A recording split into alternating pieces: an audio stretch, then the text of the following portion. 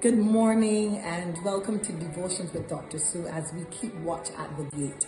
And for those who may not be familiar, the gate really is, that's where our husbands are.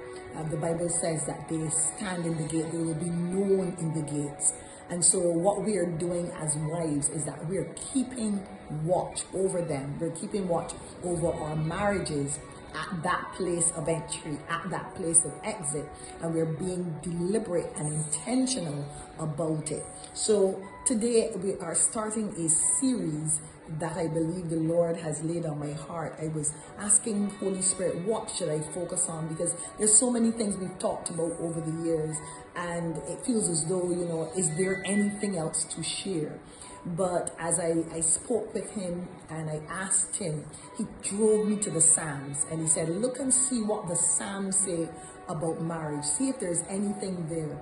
Um, there are some treasures there that you can tap into. And as I looked at Psalm 85, there was one verse I was looking at, but because of context, I started to read from the beginning and, and from there, so many things started to jump out at me. And so I want to, to begin to look at Psalm 85. The first verse, first and second verses for today, it says, Lord, your love has poured out so many amazing blessings on our land. You've restored Jacob's destiny from captivity. You've forgiven many sins and covered every one of them in your love. And as I thought about marriages, I, I, I, the Holy Spirit just began to show me how important love is in our relationships. That our love has to be in liquid form. It must be able to pour out. Sometimes our love has become hardened because of things said or comments made and it comes out clunky and it comes out in moments, in situations, you know, um, something wonderful happens and we respond in love. Uh, something, you know, spectacular occurs and there's that jump almost of love. But it, it, it talks about God's love and his love is in us and, and that's the love that we're going to be using to pour into our marriages. But the you the word used is pour, which means that it is flexible enough. It is it is in liquid form. It, it has the ability to spread a lot easier because it is poured out.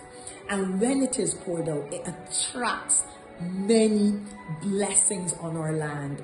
When we pour love in our marriages, when we when we let it flow easily from our lives, then the blessings attracted to our lives are easily done so. It, there's a magnetic drive, if you like, that comes from that pouring out of our love. And therefore, the blessings on our land, the Bible talks about the blessings on our land, but the land here for us would represent our relationships and our families. So that love will then attract blessings on our land. And then it continues, it says, you have restored Jacob's destiny from captivity. The destiny of our marriages will be restored. Our marriages are intended to be until death do us part.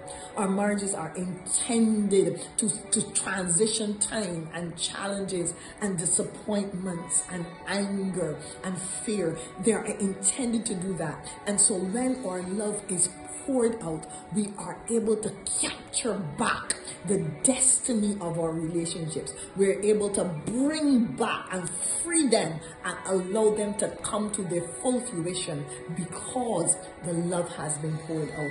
Let's talk to the Lord about that today. Father, we want to thank you for your love that we are using to pour out in our marriages. We understand that our own love sometimes can become chunky. It can become distorted.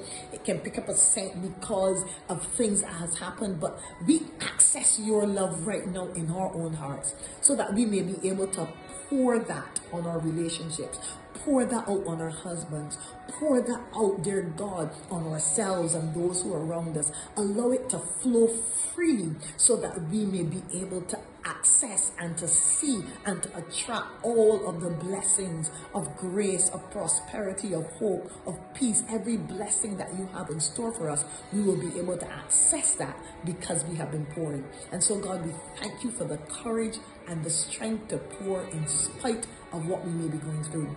We bless you and we praise you. In Jesus' name, amen. Ladies, get that level. Stir it up if it has chunks in it. Cause God to teach you how to make it in liquid form again and keep pouring. Have a great day.